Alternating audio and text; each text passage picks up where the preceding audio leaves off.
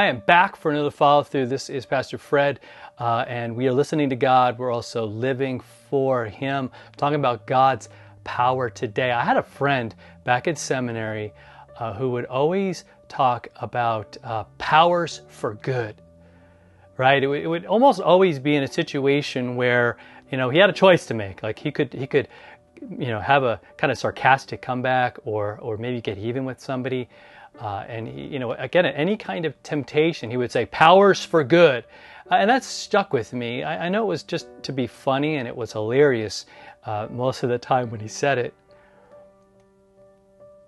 But what a what a way to think of things. That this power God gives me, because he, cause he loves me, he he has won victory over death and the grave for me. Talk about power that I have. But what am I going to use that power for? You know what I mean? Like, like what is the ultimate in power? Am I going to go along with what the world thinks power is all about? Or am I going to say, no, no, I'm going to use my powers for good? Because God does that every time. 1 Corinthians 6.14 says that God raised the Lord, and he will also raise us up by his power. Again, God could have used his power for any other reason, but he uses it to raise us up. And so he, and, and in this whole section of First Corinthians, Paul's talking about that, you know, you could do whatever you want as a Christian, right? You are, you are really, like you're forgiven and you're loved, but, but what are you going to use that freedom for? Like, like Paul actually says, like, I, everything's lawful for me, but, but not everything's beneficial. Like not everything is going to help me and my spirituality. Not everything is going to be be you know doing things for so I could go after somebody. I could I could be mean if I wanted to, and God's going to forgive me. But think about that sentence for a second. Why would I want to be mean knowing that God forgives me?